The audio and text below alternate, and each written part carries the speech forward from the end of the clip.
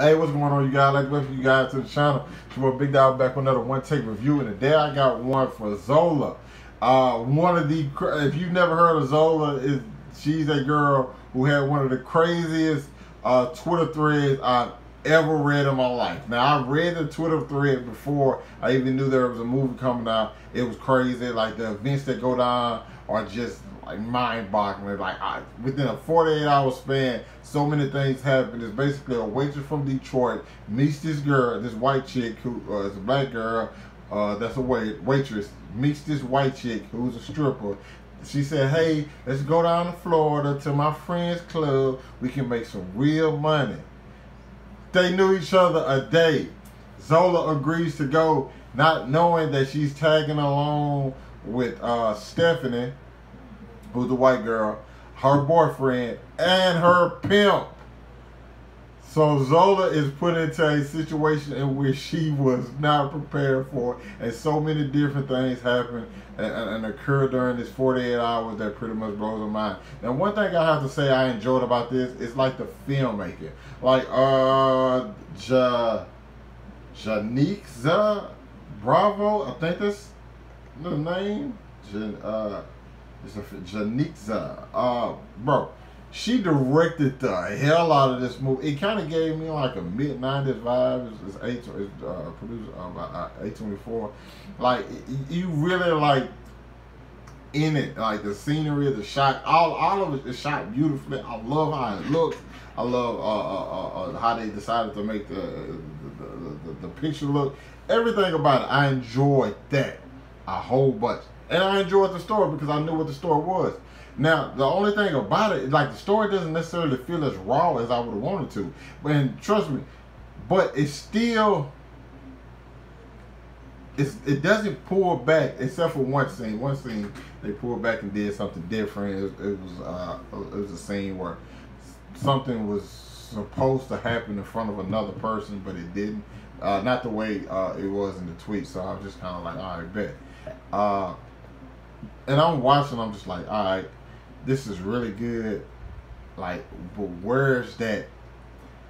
I needed it to feel a little bit more ratchet. If I guess that's, I guess because like the tweets sound pretty ratchet, pretty pretty crazy, but like, and that is exactly what the movie. Is. The the movie is definitely crazy, yet you don't necessarily. Feel, it doesn't feel wild. It just kind of feel like, oh my god, like wait a minute.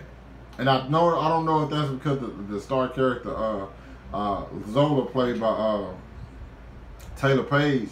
She plays this cool, calm chick who just like down to earth and like not for no not for no games.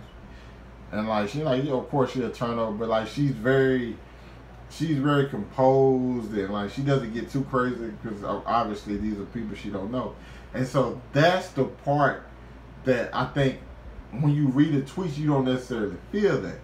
But in the film, it's just like, no, this is how it was. I, I wasn't like wild. I was just more or less like, damn, this is crazy. What is going on? Like that's pretty much she.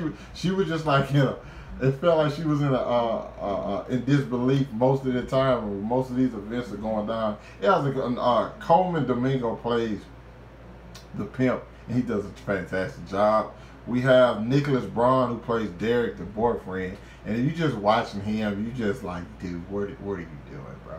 Like everybody, I think plays their parts to the T. There are other, there's some unexpected people that show up in this that I uh, uh, that I I was surprised by, and I, I enjoyed them being there. I won't give that away, but overall, Zola does what it needs to do, and and is uh, boosted by the, the the terrific directing yet it doesn't necessarily give you that feeling. I think that the tweets put in your mind of how these events occurred. They do it. They go by what the tweets say and what happens. Yet it doesn't. You still don't get. I don't feel like you transported into that world necessarily.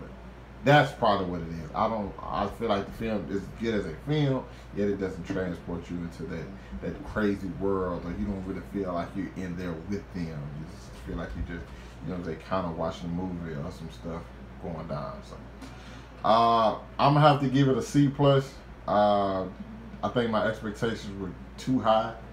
Uh, but this is also not something I wouldn't tell people. I definitely tell people. I'm recommending people go check it out, especially uh, if you haven't read the if you haven't seen the tweets. If you've seen the tweets, going a little tethered, but overall, still think it's a good job and uh, some great performances and, and phenomenal directing uh, in this film. So yeah, um, that's it. if you've seen it, let me know what you thought about it down in the comments. Hit that like button, subscribe to my channel. Thanks for watching the video. Hope you guys are staying safe, and I catch up with you guys later.